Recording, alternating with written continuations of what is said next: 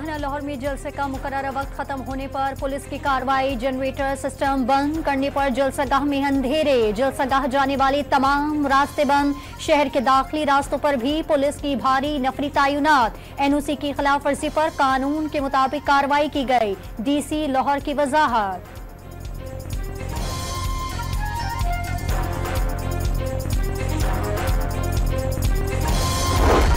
वज़ीर अला खैबर पख्तनख्वा का काफिला मुकर वक्त के दो घंटे बाद जलसागाह पहुँच गया। कालाशाह काकू में रास्तों की बंदिश पर अली अमीन गंडापुर गुस्से में आ गए। ट्रक के शीशे तोड़ दिए।